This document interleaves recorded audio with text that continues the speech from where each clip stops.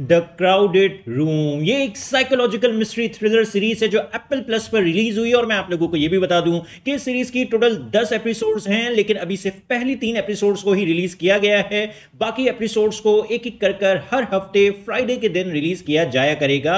और ये एक लिमिटेड सीरीज़ है, जिसका मतलब यह है कि इस सीरीज़ के सीज़न वन में ही कहानी को खत्म कर दिया जाएगा। आपको इस सीरीज़ के सीज़न टू के रिलीज़ का वेट नहीं करना पड़ेगा।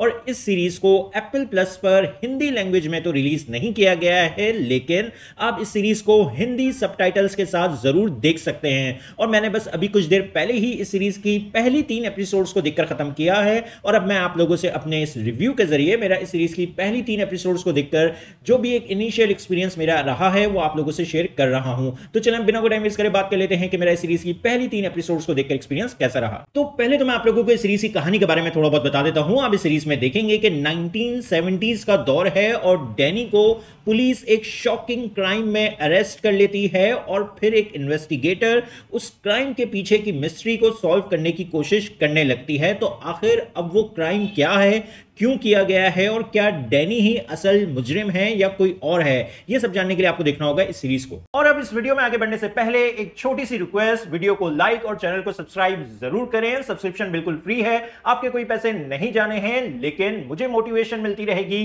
कि मैं आगे भी आप लोगों के लिए ऐसे ही वीडियोस लाता रहूँ। तो प्लीज़ चैनल को सब्सक्राइब करना मत भूलें।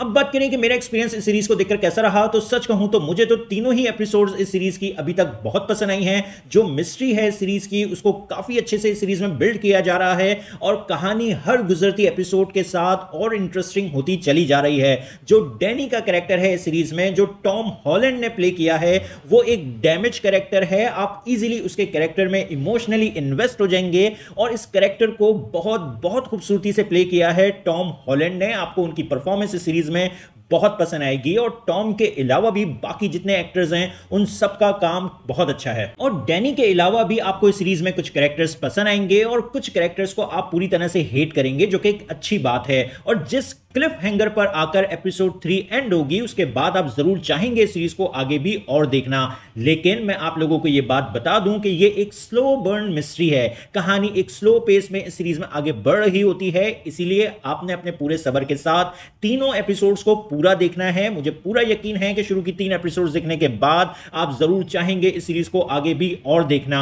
लेकिन अगर आपको स्लो बर्न शोज़ देखना बहुत बोरिंग लगता है तो फिर यह सीरीज़ आपके लिए नहीं है। बाकी सीरीज़ का जो म्यूज़िक है, वो बहुत अच्छा है, जो प्रोडक्शन क्वालिटी है सीरीज़ की वो भी बहुत अच्छी है, बहुत खूबसूरती से इस सीरीज़ में सेवेंटीज के दौर को क्रिएट किया गया है, जो कि देखकर बहुत अच्छा लगा। इन शॉर्ट मिस्ट्री मुझे इस शो की अभी तक तो पसंद आई है परफॉर्मेंसेज भी मुझे इस सीरीज़ में सभी की पसंद आई है, खासतौर पर अगर आप लोग टॉम हॉलैंड के फ़ैन हैं तो फिर ये सीरीज़ आपके लिए किसी ट्रीट से कम नहीं है, क्योंकि यहाँ आपको टॉम एक बिल्कुल ही डिफरेंट रोल प्ले करते हुए नज़र आएँगे। बाकी कैरेक्टर्स भी मुझे इस शो के पसंद आए हैं, और मैं ज़रूर चाहूँगा इस सीरीज़ को आगे और देखना। और आप लोगों से भी मैं बस इतना ही कहूँगा कि अगर आप लोगों को स्लो बर्न साइकोलॉजिकल थ्रिलर्स देखना पसंद आते हैं तो फिर इस सीरीज़ को आप अभी से देखना शुरू कर सकते हैं। उम्मीद करते हैं कि ये शो हमें आगे भी डिसअपॉइंट नहीं करेगा। और हाँ ये सीरीज़ फैमिली के साथ देखने के लिए नहीं है, क्योंकि इस शो में आपको कुछ अडल्ट सीन्स देखने को मिलेंगे। तो आप लोगों को ये सीरीज़ कैसी लगी, अपने ओपिनियन कमेंट बॉक्स में ज़रूर दें। मेरी वीडियो पसंद आई तो लाइक करें और चैनल को सब्सक्राइब करना मत भूलें। फिर मिलते हैं किसी और वीडियो में। शुक्रिया।